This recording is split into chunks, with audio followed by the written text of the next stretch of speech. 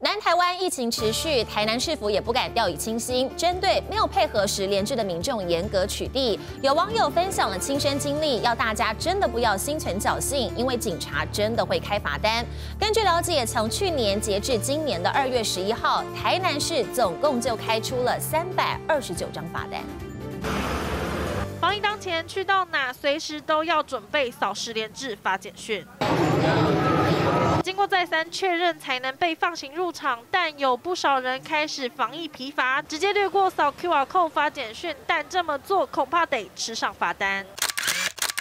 有一名网友就在网络上发文分享亲身经历，奉劝大家真的要落实十连制，因为自己偷鸡没遵守，被警方抽查，当场就要填写违反防治纸本单。远警说事后有问题，等拿到罚单再申诉，也让他非常的苦恼。比较可以接受，就是先劝导，一开始应该用劝导应该 OK 了，因为有时候会忘记。对强力稽查，民众当然希望先劝导再开罚，但根据了解，台南市政府去年针对民众没扫十连制的部分就开出了三百张罚单，而今年截至十一号为止又开罚二十九件，总共累积三百二十九张罚单。呼吁各营业场所及公共场域落实十连制。针对每扫十连制，警方究竟能不能开罚？现在市长黄伟哲也给出解答。针对十连制的部分，哈，我们已经宣示过，一定是严格遵执行，希望大家确实遵守。黄伟哲说出重话，而指挥中心也表示尊重地方去调查，毕竟疫情还没结束，任何松懈侥幸都不可允许。记者黄富琪台南报道。防堵疫情，高雄市卫生单位框列的标准非常严谨。不过有民众抱怨，尽管他的亲人跟确诊者去过同一个地点，但是时间没有重叠，也被框列。还有一名孕妇，她的家人被框列，但是她明明没有跟家人同住吃饭，也被要求居家隔离。抨击卫生单位的框列标准有问题。仔细清消确诊足迹，高雄疫情升温，卫生单位不敢大意，就连框列标准也十足严谨，但现在却传出抱怨声音。民众在网络剖文，日前他的亲人跟确诊者曾去过同一间火锅店，但跟对方时间没重叠，却人遭框列。由于亲人本身准备手术开刀，现在计划也被打乱，而类似情形还不止一起。他是去耳鼻喉科看诊，刚好就是有确诊者。网友说，他的家人曾跟确诊者在同一间诊所就诊，期间都没脱口罩。事后家人被框列就算了，自己明明没跟家人同住吃饭，仅中午回家休息，家中也一人一室，但他仍被框列，不仅导致无法产检，打电话问卫生单位要居隔多久，却始终联系不上。都给我一个时间，我也要上班！为阻断疫情扩散，高雄卫生单位真的可能跟确诊者有接触的民众进行扩大框列，但严格执行却惹来民怨。对此，卫生单位也解释说明：依据不同的时间、不同的地点，还有风险的评估，都会有一些相关框列的时段。强调是因为传染风险。至于孕妇究竟要居隔多久，卫生单位也给出答案。狂烈裁剪会直接扩到第二圈，主要接触者风险厘清之后，接触者是阴性的话，那我们就会解除隔离。防堵疫情，卫生单位不得已强力执行，也请民众配合遵守规定。记者高雄综报道。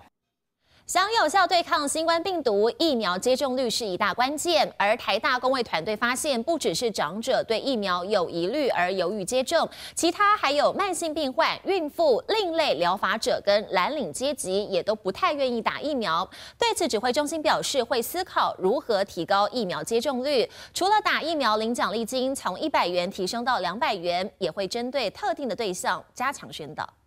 想降低重症和死亡率，疫苗接种率是一大指标。只是看看国内七十五岁以上长者的疫苗覆盖率，过年前第一季涵盖率从百分之七十五，到了年后只增加百分之零点五，而第二季也就微微增加百分之零点六，第三季接种率更只有增加到百分之四十二点一。要如何说服长辈们打疫苗？指挥中心也提出解套方案。长者部分也提出了一些一些这个规划方案，比如说。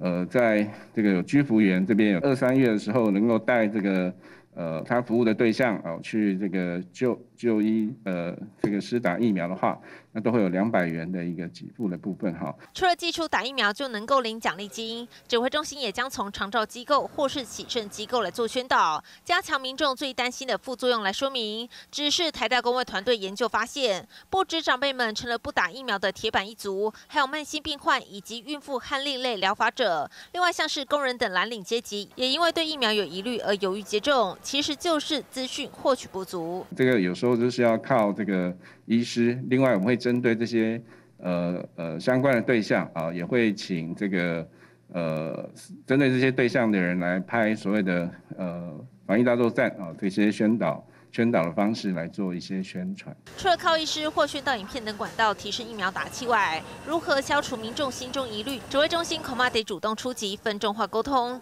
才能提升疫苗接种率。记者总导。近期北台湾雨下不停，反观中南部经常阳光露脸。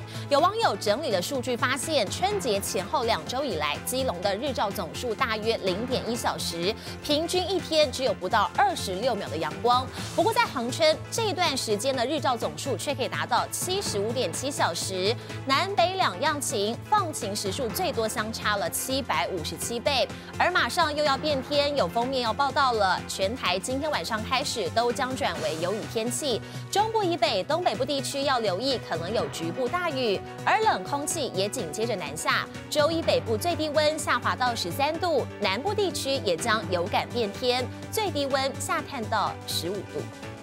北台湾才放晴没几天，天空马上又被乌云笼罩。近期阳光露脸次数少之又少。有网友整理数据发现，春节前后两周以来，基隆日照总数仅有零点一小时，也就是六分钟，平均一天只有不到二十六秒。台北也只有三点七小时的阳光，花莲十六点二小时，但到了台东，日照总数却可达四十五小时。往南递增，在国境之南恒春，日照最长累积可达七十五点七小时。时南北两样晴放晴时速最多相差七百五十七倍。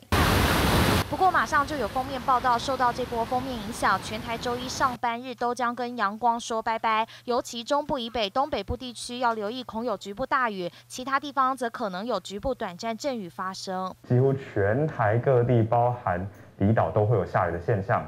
其中在中部以北地区，我们不排除可能会有局部大雨等级的降雨发生，雨势会非常明显，而且可能会影响到明天上班时间的交通状况。封面过后，冷空气紧接着南下，北部高温剩下十五度，低温不排除下探至十三度，南部地区也将有感变天，只有十五度低温。最冷的时间预计是在礼拜一整天到礼拜二的清晨。那以台北来说的话，我们可能会介在东北季风或大陆冷气团之间。最近天气变化快速，代表春天脚步不远了。提醒民众外出，别忘多加留意天气预报。记者综合报道。